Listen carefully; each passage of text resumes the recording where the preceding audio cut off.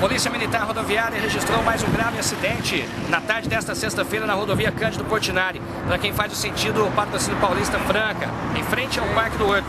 Uma van com 14 trabalhadores acabou capotando depois de estourar um de seus pneus.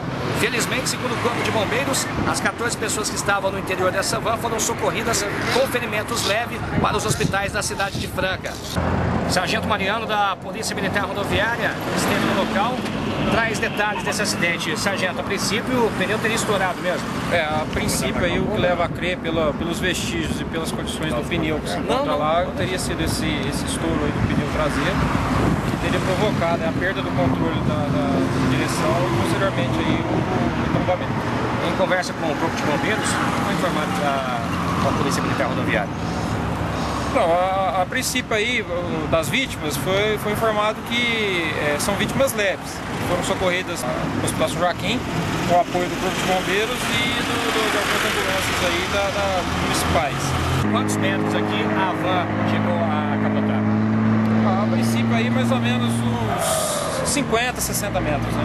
Ela não chegou a capotar é, propriamente, ela tombou e rodou na pista.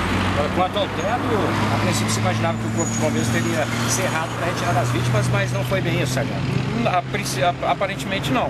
E segundo informações do bombeiros, eles não cerraram o teto. O que houve foi uma quebra da fibra, que é, é, o veículo é, é, revestido de fibra de vidro e houve essa quebra aí do, do, das colunas. Repórter Marcos de Paula para o GCN Vídeos.